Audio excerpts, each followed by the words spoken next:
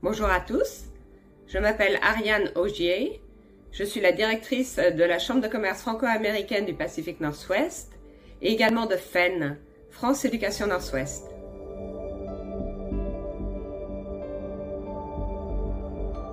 Alors il y a une BD qui me tient beaucoup à cœur, il s'agit de Corentin.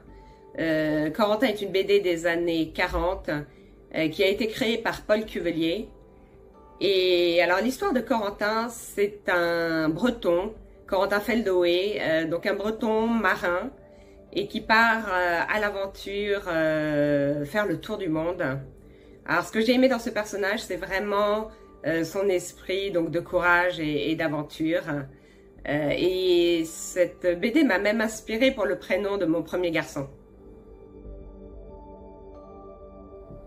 Voilà, donc je vous souhaite à tous un excellent festival de la BD. Boom!